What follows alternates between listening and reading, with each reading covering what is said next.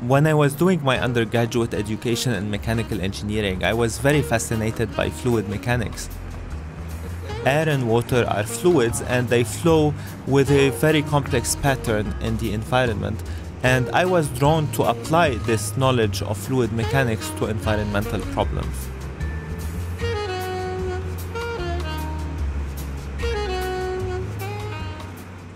The aim of this project is to study three aspects energy, water, and carbon in the environment of Princeton.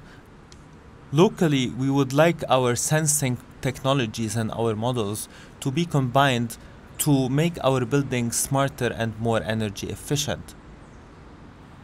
The idea of these meteorological stations is that you want to build them as cheaply and simply as possible and currently, we have about 12 stations around the Princeton campus, and we are looking to increase this to 20 or 30 stations.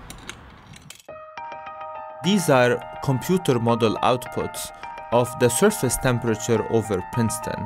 What we see is first Lake Carnegie, which is hotter than the Earth's surface during the night and cooler during the day. And if you look at the Earth's surface, you will see that the vegetated parts are always cooler than the built terrain or the buildings. If we keep zooming down, we can get to the level of one individual building. We can then simulate the airflow around this building and observe how the presence of this building will create a lot of turbulence around it, which means a lot of mixing of pollutants and heat and other things in built terrain. Global climate models will tell you what's happening at a very large scale. What we try to do is downscale these climate prediction to the local level.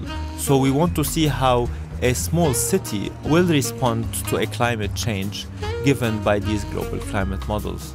The wonderful thing about academia is that you wake up in the morning and you go to work knowing that today you will learn something new or you might even discover something completely fascinating every day.